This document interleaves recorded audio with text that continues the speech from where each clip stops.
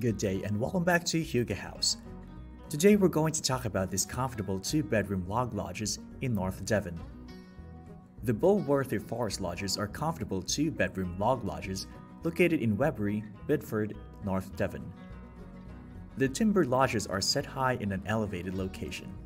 The lodges have one double and one twin-sized bed, a bath with an overhead shower, a dishwasher, and a tumble dryer.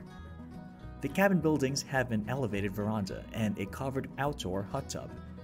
The lodge-style vacation rentals have two bedrooms and can accommodate up to four people with pets allowed. The cabin rentals are located close to fishing just 3 miles away and a private hot tub. The wood cabins are comfortable, one, two, and three bedroom log vacation lodges, all with their veranda. The cozy cabin